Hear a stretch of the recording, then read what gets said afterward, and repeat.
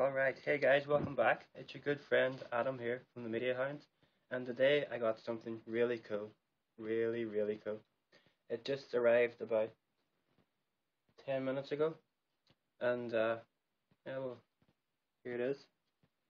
It's a Mario Kart 7 shop stand, the kind of thing you'd see in like Game or Xtra-vision. It's very big, it's about 1.5 meters tall cost me about 27 27.99 with shipping. So very very cheap. Super excited to have it. And uh, while I was buying this I also find this which is another one.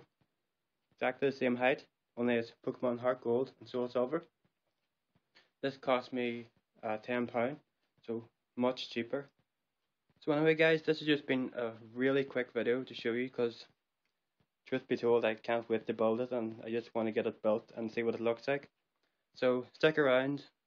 There'll be another video up shortly to show you what it looks like all built. And uh, hopefully there'll be enough room for them both. But I'll decide if there isn't enough room, I'll decide which one I want to keep in my room and I don't know, put the other one in storage.